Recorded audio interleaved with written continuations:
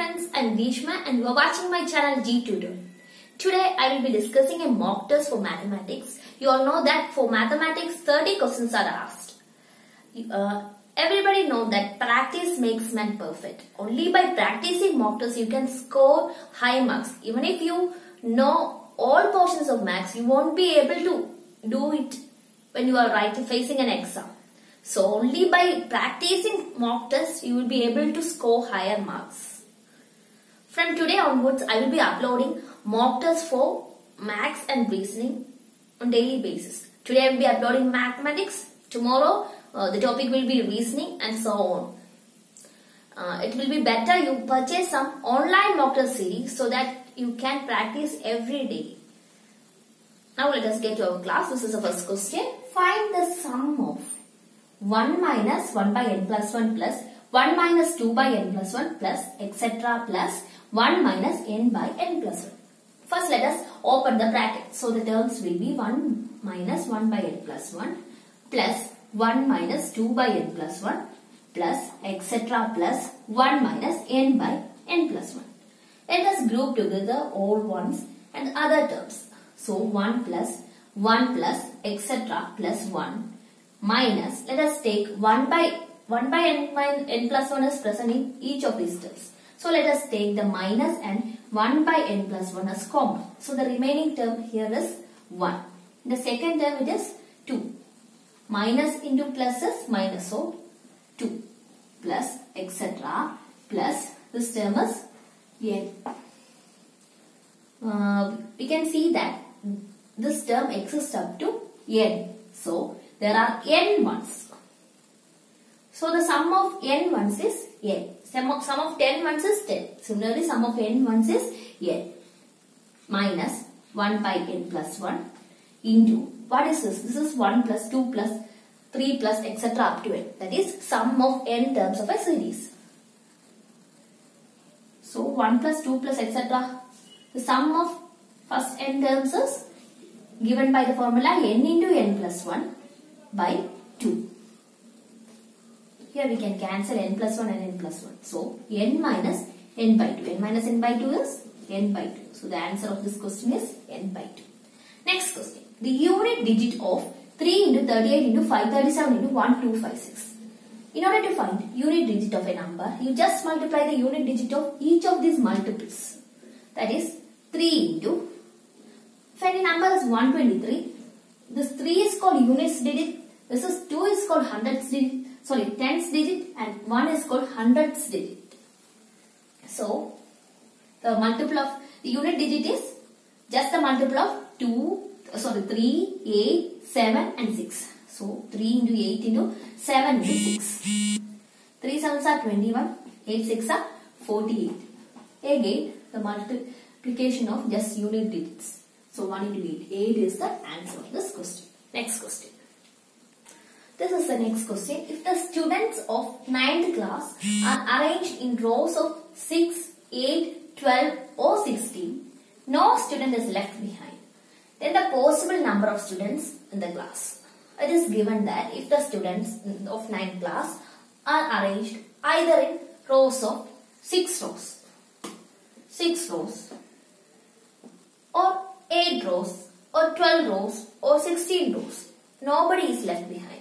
That is, it is possible to arrange uh, students as a group of 6 rows, 8 rows, 12 rows or 16 rows. So, we have to find the total number of students in the class. Actually, this is what we have to study from the portion LCM and HCF. So, here we have to find the LCM of these numbers which gives the total number of students. What is the LCM of 6, 8, 12 and 16? It's if any of if the highest number among this is divisible by the other numbers then it will be the LCM. Here the 16 is not able to be divided by 6. So 16 is not the LCM. So we have to find the LCM. 2, 2 3s are, 2 4s are, 2 6 are, 2 8s are. 2 2 2s are, 2 3s are, 2 4s are. Again with 2. Next is 3. 1, 1, 1, 2. So LCM is 2 into 2 into 2 into 2. 2 raised to 4 is 16. 16 into 3 LCM is 48. So the number of students should be 48. But in the given option 48 is not present. So the number of students will be a multiple of 48. 48 into 2. We have to check 48 into 2. 8 2s are 16. 4 2s are 8 plus 1. 9. 96. Is present in the option. So 96 is the answer of the given question. Next question. This is the next question. The greatest 4 digit number exactly divisible by 10, 15 and 20 is. So the greatest 4 digit number is the 9999. This is the greatest 4 digit number. And the, uh, we have to find the greatest 4 digit number that is exactly divisible by these three numbers. If uh, a number is divisible by uh, three of these numbers, then that number is divisible by its LCM also. So this question is from LCM and HCF. Uh, the LCM of course we have to find the LCM of 10, 15 and 20. I think you all know to uh, do LCM. So I am directly writing the value of LCM. LCM is 60. So what we have to do here is we have to take the largest 4 digit number. It is 9999 and divide by this LCM. 60, 61 are 60, remainder is 39, 399, 60 into 6 is 360, again remainder is 39, 399, again 6 times 360, remainder is 39. So, if you are dividing 9999 by 60, the remainder is 39.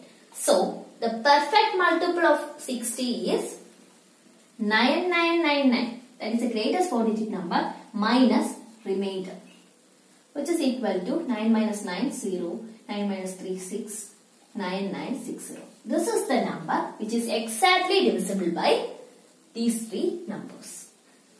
So what we have to do? We have to write the greatest 4 digit number divide by the LCM of this number. It gives a remainder this number minus remainder gives the number which is multiple of 60 which is divisible by these three numbers. Next question. This is the next question. If X men can do a piece of work in X days, then number of days in which Y men can complete can do the same work.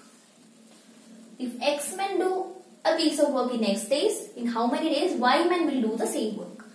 So we have to use the chain rule. Chain rule is if M1 man work for D1 days H1 hours, W1 work is completed, then M2 man uh, working D2 days and H2 hours complete a work W2. These two can be related. This is the chain rule. Here we are mentioning only about man and days. So we can equate only that two. It is necessary to equate only that two. That is M1 D1 is equal to M2 D2. M1 is X men can do uh, a piece of work in X days. Similarly, Y man can do it in D2 days. D2 is equal to X into X, X square by 1. These many days. Next question. Next question. Three persons undertake to complete a piece of work for rupees 1200. The first person complete the work in 8 days, second person in 12 days, third person in 16 days. They complete the work with the help of a fourth person in 3 days. What does the fourth person gets? It is given that three person uh, undertook to complete a piece of work in, uh, for 1200 rupees. It is given the time taken by each of these three persons. Let them be A, B and C. A takes 8 days to complete. B alone takes 12 days and 3 alone takes 16 days to complete the entire work. And it is also given they complete the work with the help of a fourth person. A, B, C took the help of another person. Let it be D also to complete the work. So, we have to find how much rupees did the fourth person D get. What does fourth person get? This is what we have to find. So, let us uh, note down what is given in the question.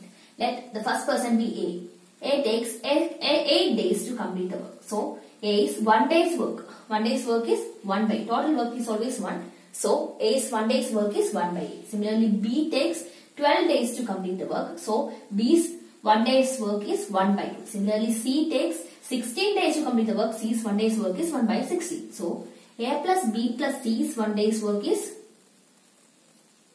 sum of their individual one day's work.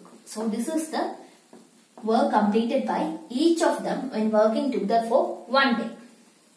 So the LCM of 8, 12 and 16 is 48. 8 into 6 is 48, 12 into 4 is 48, 16 3 are. So 6 will 4, 13 by 48 is the work completed by A, B and C in one day. One day's work.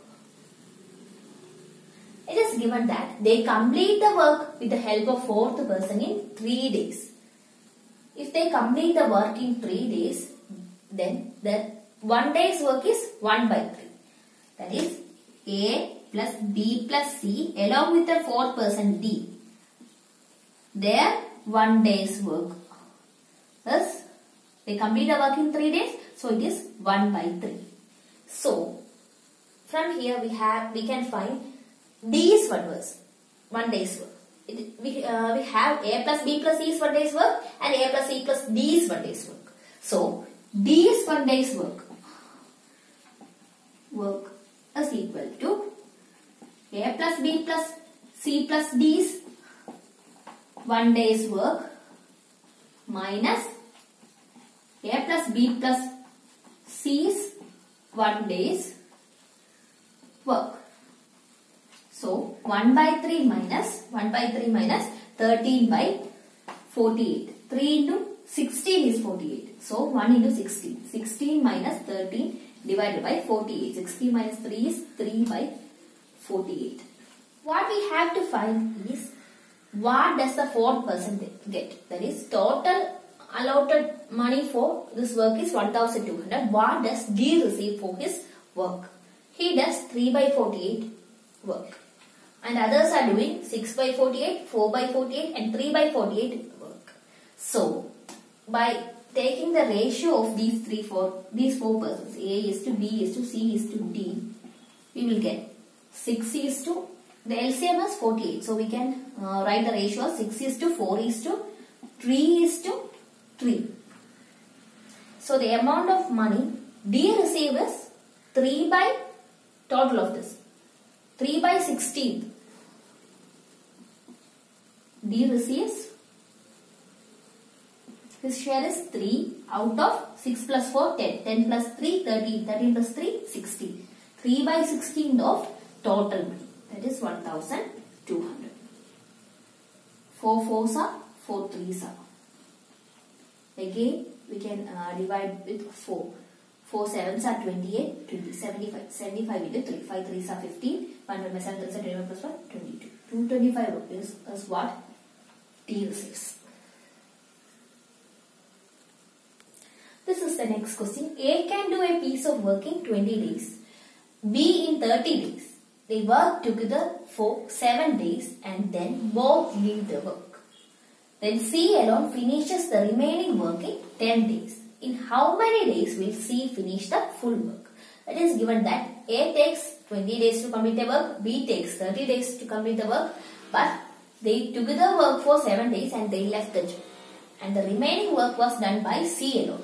It is uh, in 10 days C completed the remaining work. So we have to find in how many days uh, C will complete the full work.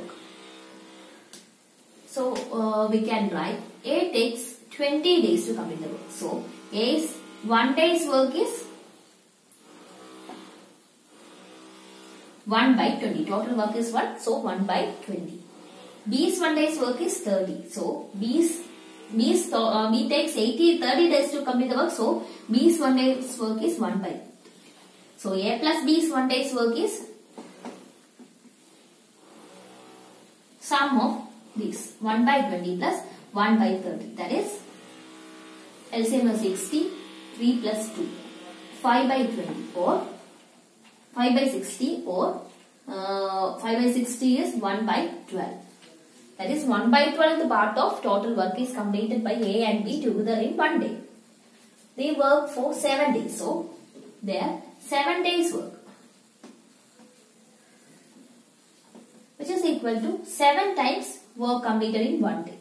7 into 1 by 12. This much work is done in one day. So, in 7 days, 7 into 1 by 12th work is done. Remaining work is, total work is 1. So 1 minus 1 7 by 12 which is equal to 12 minus 7 by 12. It is 5 by 12 work. It is done by C. In how many days? In 10 days. So C's 10 days work is what is left? That is 5 by 12. So C's 1 day's work is 5 by 12 divided by 10. That is 5 by 12 into 10. 5 by 120 which is 1 by 24. This is C's 1 day's work. So, C will take how many days? The reciprocal of this. 24 days to complete the work. This is the answer. 24 days. Next question. This is the next question. Find the value of root of 30 plus root of 30 plus root of 30 plus etc. For finding the value, just take this as x. So root of 30 plus root of 30 plus root of 30 is equal to x. Let us take this is again x. So this is let us let it be 30 plus x which is equal to x. Squaring both sides. So, the, so 30 plus x is equal to square of x is x square. Taking everything to one side. So x square minus 30 minus x is equal to 0 or x square minus x minus 30 is equal to 0. So it formed a quadratic equation. Solving the quadratic equation we will get the value of x. In order to find the root of this quadratic equation we just need to factorize uh, the write the middle term as a sum of two factors. So uh, here the sum is minus 1 and the product is minus 30. So the product of 30 is 1 and 10, sorry 1 and 30, 2 and 50, 3 and 10 and 5 and 6. Which of these numbers on adding or subtracting gives the sum minus 1? It is 5 and 6. So it will be 5 and minus 6. 5 plus minus 6 is minus 1. And the product of 5 and minus 6 is minus 30. So this is the correct factor which have to which we have to replace minus x. So it is x square minus 6x plus 5x minus 30 is equal to 0. Here x is common. So we can take x as common. So x minus 6 plus here 5 is common. So 5 into x minus 6. x minus is, is common in both these terms. So x minus 6 into x plus 5 is equal to 0. So the values of, we can equate each of this to 0. So the answer is x is equal to 6 and x equal to minus 5. The correct answer is x is equal to 6. Next question. This is the next question. Here the, uh, the question is the mark price of a piano was rupees 15,000. At the time of sale, there was a successive discount of 20%, 10% and 10% respectively on it. The sale price is. Here we have, we are given mark price and discount and we are asked to find the sale price. Mark, uh, so the discount is always calculated on mark price. So, it is given that mark price is rupees 15,000. Then discount is given as 20% successive discounts that is 20%, 10% and 10%. If two discounts, two successive discounts, the net discount is two uh, successive discounts x and y. So the net discount will be x plus y minus x into y. Discount is always negative. So we can take it as minus x minus y. Minus into minus is plus. So plus xy by 100. Here x is 20. Next discount is 10. So minus 10, minus 20, minus 10 plus 20 into 10. 200 by 100. Which is minus 20 plus 10 is 30. Minus 30 plus 2. That is minus 28. Again, this is the first discount and the third one is the next discount. So again, we are applying this formula that is minus 28 minus 10 minus into minus plus 28 into 10 by 100. So it is minus 38 plus 2.8 which is equal to 35.2. Okay. But we are asked to find SP. SP is equal to, first we have to find discount.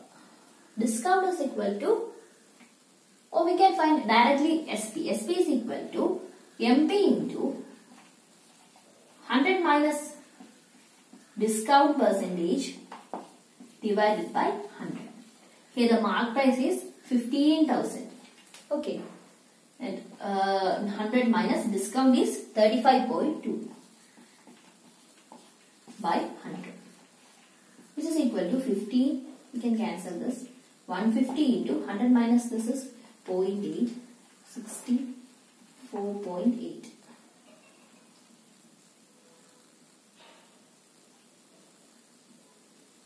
okay 64.8 or it is 15 into 648 648 into 15 is the required answer.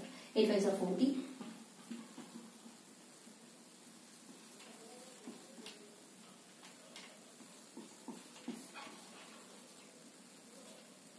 9720 is the sale price after giving free successive discounts.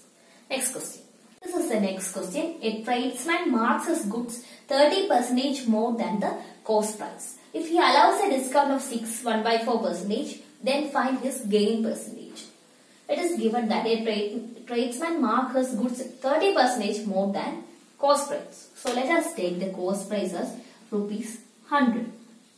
Mark price is cost price. He is marking 30 percentage more than the cost price. So 100 plus 30 by 100 of 100 that is 130 rupees.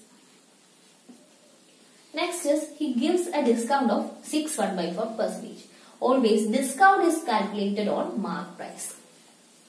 So discount percentage is given as 6 1 by 4 percentage which is 25 by 4 percentage. So discount is equal to discount per, discount percentage by 100 into mark price. So 25 by 400 into mark price is 130 rupees.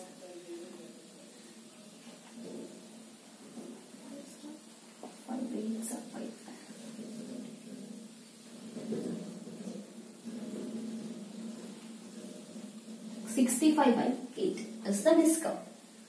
Uh, we have to find gain percentage. Gain gain is actually cost uh, selling price minus cost price. So in order to find gain percentage, first we have to find gain. And before finding gain, we have to find the SP. SP is always uh, mark, mark price minus discount. Mark price is 130 and discount is 65 by 8. That is 8 into 13 is 104. So 1040 minus 65 by 8 which is equal to 10 minus 5 is 5. 13 minus 6 is 7. Uh, next 9 minus 6 is 3, 375 by 8. Sorry. 975 by 8. This is the value of SP. Now we have to find gain. Gain is SP minus CP. SP is 975 by 8 and CP is 100. So 975 minus 800 divided by 8 which is equal to 571. 175 by 8. So gain percentage is gain by CP into 100 which is gain percentage. We have to find the gain percentage. Gain is 175 by 8. 8 by CP is 100. So into 100 into order to convert to percentage we have to multiply by 100. 100 and 100 gets cancelled. So 175 by 8 which is equal to 21 7 by 8 percentage. Next question. Next question is the third proportion of 12 and 8 is. This is a question from ratio and proportion. If A is to B is proportion to B is to D, then A is called first proportion, B is called second proportion, and D is called third proportion. Okay, so here we are given, uh, we are asked to find the third proportional of 12 and 8. So, here we are given 12 as first proportion and 18 as second proportion. A is first proportion, B is second proportion and D is the third proportion. So, 12 is to 8 is to 8 is to D. In this case, the value is given by the product of closer terms is equal to product of extreme terms. That is, B square is equal to A into D. In this case, 8 into 8 is equal to 12 into D. From here, we, have, we can find D. D is equal to 8 into 8 divided by 12, which is equal to 4, 4 3s are 8 by uh, 4 2s are and 4 3s are. 2 is a 16 by 3, which is the value of T. Next question. Sachin has a certain average for 11 innings. In the 12th innings, he scores 120 runs and thereby increases his average by 5 runs. His new average is. This is the next question. Sachin has a certain average for 11 innings. We have to find in the 12th innings he scored 120 runs. And so the average increased by 5 runs. We have to find the new average. Let us take the old average, the initial average, average of 11 innings, be x. So the sum of 11 innings will be, uh, what is actually average? Average is equal to sum of observation by number of observation. So here the number of observation is 11. Average is x and the number of observation is 11. So the sum of observation will be 11x. 11x. Then it is given that in the 12th innings he scored 120 runs. So the average of sum of, let us take first, let us take the sum of 12 innings. It will be the sum of 11 innings plus 12 innings. In 12 innings he scored 120 runs. So 120. Average of it will be 11x plus 120 divided by, there are 12 innings. So by 12. And it is said that thereby increases his average by 5 runs. First case the average was x and now it increased by 5. So we can relate these two. That is 11x plus 120 is equal to 12x plus 60. So x will be equal to 60. This is the value of, uh, uh, sorry, this is the uh, value of average of 11 innings. What is actually asked? We are asked to find the new average. So, new average will be old average plus its average increase by 5. So, 65 is the value of new average. Next question. This is the next question. If rupees 126.50 is divided among A, B and C in the ratio 2 is to 5 is to 4, share of B exceeds that of A by that is 126.50 rupees is divided among A, B and C. A share is they are related by the ratio 2 is to 5 is to 4. Let the share of A be 2x, B be 5x and C be 4x. We have to find by how much amount B exceeds A. So we have to find 5x minus 2x. For that we, first we have to find x. In order to find x, it is given that this quantity is divided among these three persons. So, 2x plus 5x plus 4x is actually the total amount 126.50. 5, 5 plus 9 plus 2 11. 11x is equal to 126.50 or x is equal to 126.50 by 11. 11 ones are 16 again 1 55 11.50 this is the value of x so we have to find the difference between b and a so first we have to find a a is 2x that is 2 into 11.5 2 into 11.5 is 23 b is 5x which is equal to 5 into 11.5 5 5 is 25 2 remainder 5 plus 2 7 uh, 1 5 is 5 57.5 the difference between b and a gives the value of this. B exists a by. So 57.5 minus 23 which is equal to 34.5 this is the answer. Next question this is the next question. A train goes from Delhi to Agra at an average speed of 20 km per hour and comes back at an average speed of 30 km per hour. The average speed of train for the whole journey is. This is a question from uh, time and distance. Here it is said that a train goes from Delhi to Agra at an average speed of 20 km per hour and comes back at an average speed of 30 km per hour. Here the distance is same. If the distance is same, then the average speed is given by let it travels from D to A at a speed x and from A to D with a speed y. Then the average speed uh, when distance is same is 2xy by x plus y.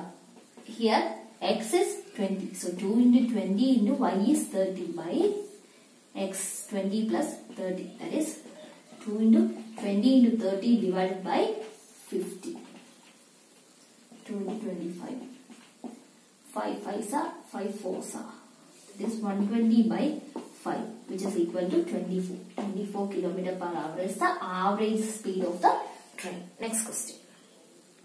This is the next question. The compound interest on rupees 5000 for 3 years at 10% per annum will amount to. So here we are given principal,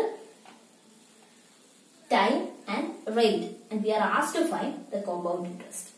We know the formula uh, in case of compound interest, interest compound interest is compounded yearly then the amount is equal to principal p into 1 plus r by 100 the whole raised to n. Here p is the principal, r is the rate and n is the time and a is the amount received after n years. So here p is 5000. 5000 into 1 plus r is 10. 10 by 100 the whole raised to 3. So it is 5000 into 10 plus 1 is 11 by 10 the whole cube. It is 11 by 10 into 11 by 10 into 11 by 10. 11 into 11 is 121. 121 into 11 is, uh, we can do the multiplication with 11 easily by, first, we know that 11 into 11 is 121. Some, somebody will be knowing, all will be knowing uh, 11 cube. But I am just saying how to multiply a number easily by 11. You just multiply the n digits by 1. So 1 into 1 is 1. Then you have to add the 2 digits. 2 plus 1 is 3. Again, the, the other 2 digits. 2 plus 1 is 3. 1 into 1 is 1. This is multiplication of any number by 11. Multiply the extreme terms by 11 and add the other terms. So 5 into 1, 3. This is 1 5 5, 3 5 15, 3 15 16. 6. So 6, 6, 5, 5. This is amount. We have to find the compound interest. Compound is equal to amount minus principal. 6655 minus 5000 which is equal to 5561. This is the value of compound. Now we have covered 15 questions. Uh, in the next class we will be covering the rest 15 questions along with reasoning mock test. If you are having any suggestions or if you need any of the classes of any topic, please comment below. Uh, and if you like my video, please subscribe to my channel for getting more RRB JE related videos. Thank you.